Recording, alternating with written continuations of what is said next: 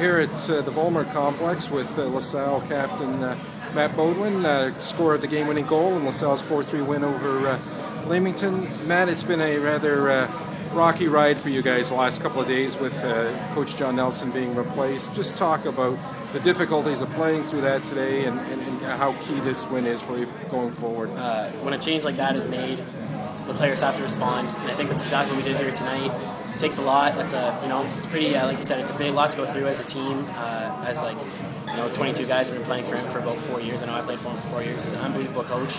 And when a change like that's made, like I said, the players have to respond because that's why the changes was made. The changes made not because the play, we, we, were lacking something. We were lacking. We were missing something. Uh, we just had to spark our game a little bit. And when that happens, I think the players did a great job in responding. This is your uh, first win over Leamington this season, uh, and you did it with five call-ups from the Windsor Midgets uh, in the lineup. Talk a little bit about how the how the team overcame the uh, the shortage of players from suspensions from the weekend. Yeah, it's a huge team win. We did the same thing on Sunday against London. We had a line ball in Strathroy that left us five guys short, so we had to call some guys up, and uh, just a huge team win, top to bottom. Even the call-ups to step into an atmosphere like this and play the way they did, and uh, just an awesome thing to see, especially in the young development of the club and uh, awesome job to the guys on the team. I can't say enough. It was just such a team win. Uh, you could have crumbled there in the first period. Leamington scored in the first two minutes and uh, had to lead twice in the first period. Why were we able to keep the thing uh, together?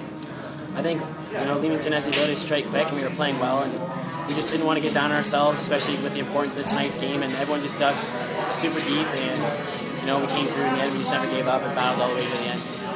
Uh, you, you put your club ahead 4 3 there on a power play in, in the third, and, uh, then we watched uh, Spitz draft pick Jordan uh, DeKort uh, put on a little bit of a show down the stretch. Just uh, your your thoughts on his play, especially on the uh, penalty kill. I can't say enough good things about him. He is uh, just an unbelievable player. I've never seen uh, anyone compete so hard. And he really wanted this win tonight.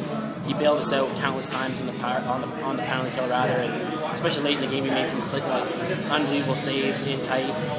He gives us a chance to win night in, night out, and tonight he just stood in his head. He was our best player tonight.